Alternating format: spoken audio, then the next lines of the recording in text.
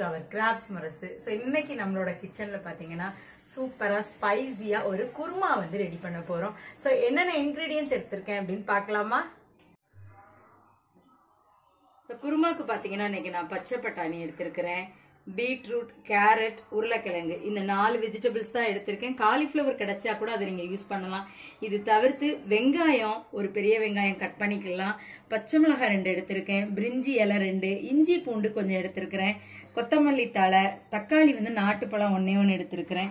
So அது மட்டும் இல்லாமல் புதினா எல்லாம் எடுத்திருக்கேன். ஒரு கைப்பிடி அளவு வந்து எடுத்துக்கோங்க. தாளிக்கிறதுக்கு கடுகு நெக்ஸ்ட் பார்த்தீங்கன்னா மிளகாத்தூள் மஞ்சள் தூள் எடுத்திருக்கோம். அது மட்டும் இல்லாமல் ஜீரக பொடி எடுத்திருக்கிறேன். ஸோ நெக்ஸ்ட்டு தேவையான அளவு எண்ணெய் யூஸ் பண்ணிக்க போகிறோம் அரைச்சி ஊற்றுறது என்னெல்லாம் பார்த்தீங்கன்னா தேங்காய் முந்திரி கசகசை. இதுதான் நம்ம லாஸ்ட் அரைச்சி ஊற்ற போகிறோம் ஸோ தாளிக்கிறச்சே பார்த்தீங்கன்னா இந்த மாதிரி வாசனை பொருள் எல்லாமே சோம்பு பட்டை கிராம்பு எல்லாமே மிக்ஸ் பண்ணியிருக்கிறோம்.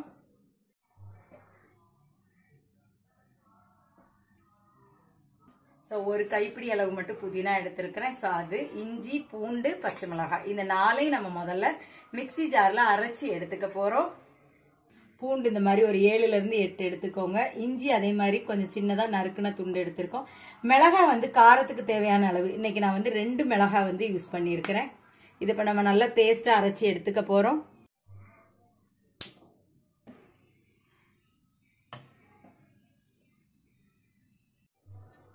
குக்கரில் இன்னைக்கு நம்ம அந்த குருமாவை வந்து ரெடி பண்ணிட போகிறோம் பார்த்தீங்கன்னா குக்கரில் செய்யும்போது டைம் வந்து நமக்கு ரொம்ப நல்லா சேவ் ஆகும்.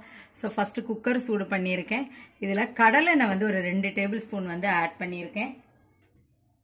கொஞ்சமாக கடு எண்ணெய் சூடானவொன்னே கடுகு வந்து நம்ம இதில் ஆட் பண்ணிக்கலாம். ஸோ இப்போ கடுகு பொரிஞ்ச உடனே பிரிஞ்சி இலை ரெண்டு போட்டிருக்கிறேன். ஸோ சோம்பு பட்டை கிராம்பு எல்லாமே இதில் நாம் மிக்ஸ் பண்ணிக்கலாம். ஸோ இதை லைட்டாக வதக்கிக்கோங்க.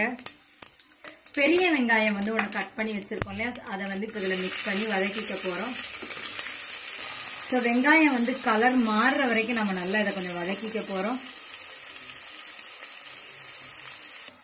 வெங்காயம் ஓரளவு வதங்கிடுச்சு. இப்போ பார்த்தீங்கன்னா நாட்டு தக்காளி ஒரே ஒரு பழம் வந்து ஆட் பண்ணியிருக்கேன். ஸோ இதுவும் இதில் நல்லா வதங்கட்டும் கொஞ்சம்.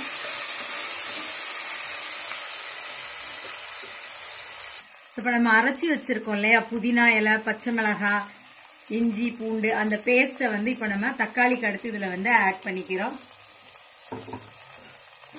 ஸோ இதை நல்லா வதக்கிக்கலாம்.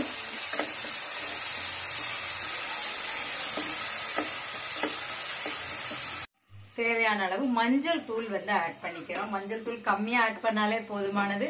ஸோ நெக்ஸ்ட் பார்த்தீங்கன்னா அதே மாதிரி மிளகாத்தூள் வந்து கொஞ்சம் தேவையான அளவு ஆட் பண்ணிக்கலாம். ஏற்கனவே நான் பச்சை மிளகாய் போட்டிருக்கிறதுனால நான் இது கம்மியாக தான் வந்து ஆட் பண்ணுறேன்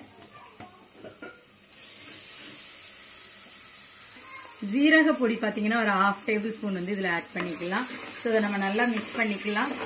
ஸோ இப்போ மசாலா எல்லாம் ஓரளவு நம்ம வதக்கிட்டோம் இல்லையா? இந்த டைம் பார்த்தீங்கன்னா வெஜிடபிள்ஸ் வந்து நம்ம ஆட் பண்ண போகிறோம் ஸோ ஃபஸ்ட்டு பச்சை பட்டாணி எடுத்திருக்கேன். பச்சை பட்டாணி இல்லைன்னா காஞ்ச பட்டாணி கூட நம்ம நனைய வச்சு யூஸ் பண்ணிக்கலாம். ஸோ பீட்ரூட் கட் பண்ணி வச்சுருக்கோம் அதை சேர்த்துக்கலாம். நெக்ஸ்ட்டு கேரட் கட் பண்ணி வச்சுருக்கிறதையும் நம்ம இதில் சேர்த்துக்கலாம். ஸோ உருளைக்கிழங்கு வந்து கட் பண்ணி தண்ணியில் வந்து போட்டு வச்சுருங்க. இல்லைன்னா டக்குன்னு என்ன ஆகிடும் அப்படின்னா கருப்படிச்சிடும். ஸோ இப்போ கட் பண்ணி வச்சுருக்கிற உருளைக்கிழங்கு இதில் ஆட் பண்ணிக்கிறேன். காலிஃப்ளவர் கிடைச்சா கூட அதில் யூஸ் பண்ணுங்கள் ரொம்ப நல்லாயிருக்கும் ஸோ இப்போ இதெல்லாம் நம்ம வதக்கிக்கலாம்.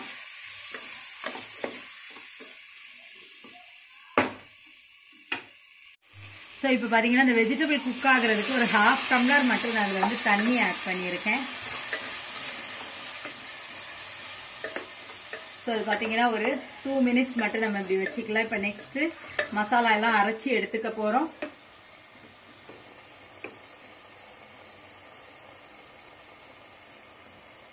ஸோ புதினா இலை அரைச்ச அதே ஜாரில் பார்த்தீங்கன்னா நான் முந்திரி எடுத்திருக்கேன். ஒரு ஏழு எட்டு கசகசா. தேங்காய் வந்து ஒரு சின்ன பத்தை மட்டும் நம்ம எடுத்துக்கலாம். இது மூணையும் நம்ம வந்து ஃபைன் பேஸ்ட்டாக அரைச்சி எடுத்துக்க போகிறோம்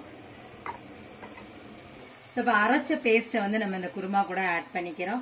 ஸோ வாட்டர் கன்சிஸ்டன்சி எவ்வளோ வேணுமோ அதுக்கு தக்கனி பார்த்தீங்கன்னா இதில் நீங்கள் வாட்டர் வந்து ஆட் பண்ணிக்கலாம்.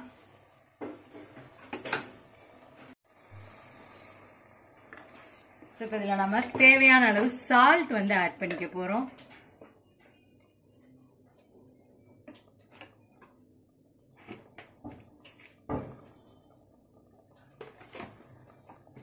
சால்ட் ஆட் பண்ணிட்டு இதை நம்ம மிக்ஸ் பண்ணிட்டு குக்கர் மூடி வச்சுட்டு ஒரு த்ரீ விசில்ஸ் மட்டும் வச்சு இதை எடுத்துக்க போறோம்.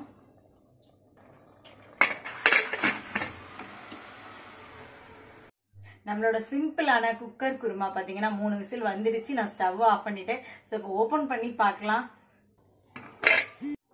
ஸோ அந்த ப்ரெஷர்லாம் போனதுக்கப்புறம் அதை ஓப்பன் பண்ணி பார்க்கலாம் நம்ம. பார்த்தீங்கன்னா சூப்பராக நமக்கு குருமா வந்து ரெடி ஆயிடுச்சு.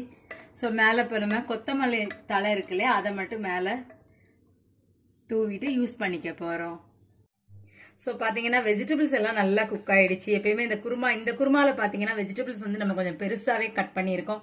ஏன்னா குக்கரில் போடுறதுனால சூப்பராக குக் ஆகிடும் எடுத்து சாப்பிட்றதுக்கும் பார்த்தீங்கன்னா நமக்கு ரொம்ப நல்லாயிருக்கும் இந்த குருமா வந்து இட்லி தோசை இல்லைன்னா சப்பாத்தி இது எல்லாத்துக்குமே பார்த்தீங்கன்னா பெஸ்ட்டு சைட் டிஷ்ஷாக இருக்கும்.